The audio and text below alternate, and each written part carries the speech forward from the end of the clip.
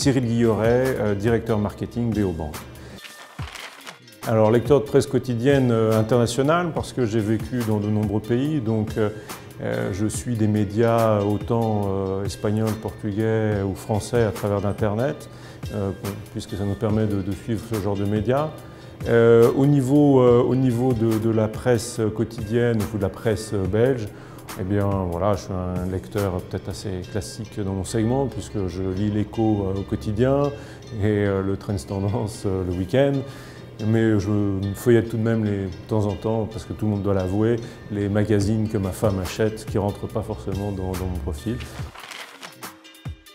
Une presse, une publicité matin quand elle me concerne, donc lorsqu'elle correspond, lorsqu'elle est bien segmentée, qu'elle correspond à mes nécessités, euh, bien sûr, la créativité euh, là-dedans a un aspect, euh, un aspect fondamental, puisque c'est aussi cela qui attire l'œil.